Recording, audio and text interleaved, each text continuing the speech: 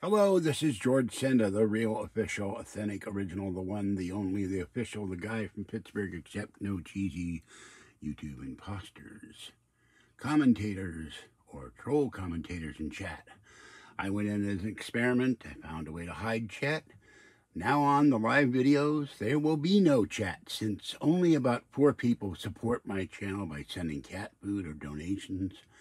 And the rest of the people in chat criticize me argue with me, call me a liar. I'm sick and tired of it after almost 11 years. So you guys screwed yourself. There will be no more chat. I will do live videos, say what I'm going to say, and get out. I'm sick and tired of being treated with no respect as a YouTube creator and as a person. And you don't come in and talk filth about Kathy either. I won't allow that. So there will be no chatting anymore. Hope you enjoyed just seeing me and talking, and then I'm gone. Bye-bye.